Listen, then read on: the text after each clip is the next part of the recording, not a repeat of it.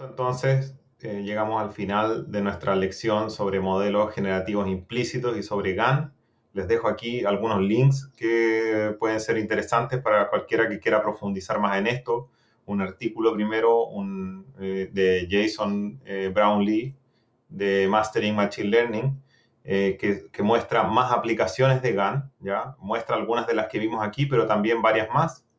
Eh, de la que me acuerdo en este minuto, había una que generaba Pokémones nuevos, para los que les gustan los Pokémon. Em, y también otros otros links, unos consejos, más consejos prácticos con respecto a entrenar GAN. La comunidad eh, eh, ha descubierto primero algunos, algunos, por supuesto, más formales, ¿ya?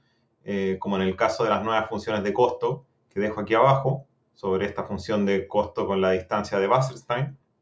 Pero también hay otros trucos más prácticos, como por ejemplo los que se propusieron en la DC GAN. Entonces, esos trucos y otros se pueden encontrar eh, aquí en este repositorio que se llama GAN Hacks, trucos para entrenar GAN, y en este paper también, que se llama técnicas mejoradas para el entrenamiento de GAN.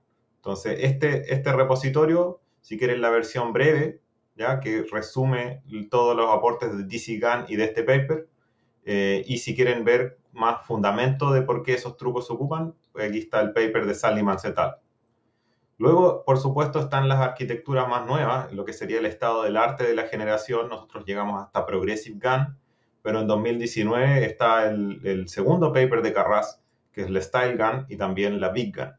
Ambos arquitecturas del estado del arte en términos de generación. Y finalmente, como ya dije, eh, para trabajar este tema de la inestabilidad del entrenamiento, una de las alternativas ha sido proponer nuevas funciones de costo.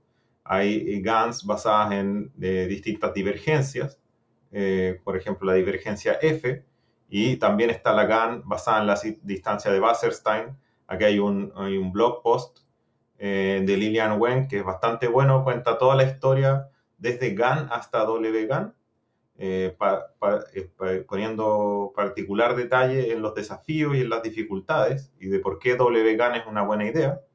Eh, y finalmente un paper que se llama Mejorando el entrenamiento de la Wasserstein GAN, porque el entrenamiento de la WGAN tampoco es tan trivial. de hecho, el, estado del arte en este caso es la WGAN con, un, con una penalización adicional y eso es lo que se discute en este paper. Eso, nos vemos.